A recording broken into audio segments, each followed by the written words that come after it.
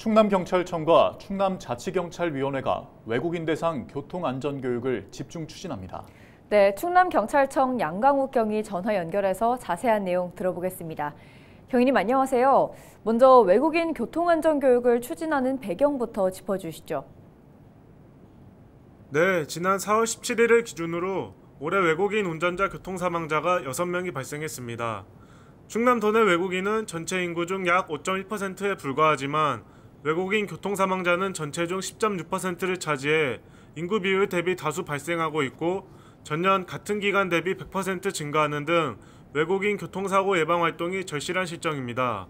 이에 충남경찰청과 충남자치경찰위원회는 4월 22일부터 외국인과의 접촉 기회를 확대하여 찾아가는 교통안전 교육을 집중 추진할 계획입니다. 네, 외국인 대상 교통안전 교육은 구체적으로 어떻게 진행되는 겁니까? 충남 도내 수년간 점진적으로 증가하는 외국인의 교통안전을 확보하고자 관내 다문화 가족지원센터 14개소, 외국인 근로자 지원센터 5개소, 외국인 유학생이 재학 중인 대학교 17개소를 방문하여 외국인 대상 교통안전 교육을 내실 있게 진행할 예정입니다. 특히 최근 충남경찰청에서 제작한 교통안전 홍보 영상을 외국어로 번역 송출하는 등 외국인 맞춤형 교통안전 홍보 교육으로 국내 거주 외국인들의 교통안전 인식을 전반적으로 제고할 수 있도록 최대한 노력할 계획입니다. 네, 교통안전은 아무리 강조해도 지나치지가 않죠.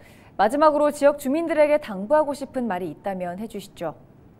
네, 행락철 농번기를 맞아 차량, 농기계, 보행자 통행량이 증가하고 있고 최근 충남간 내 교통사망자가 다수 발생하고 있습니다. 이에 도민분들께서는 교통사고에 각별히 주의해 주시기 바랍니다. 그리고 충남경찰은 우리 사회의 한 구성원인 외국인 노동자, 이주민, 대학생을 위한 교통안전 활동을 강화할 계획입니다.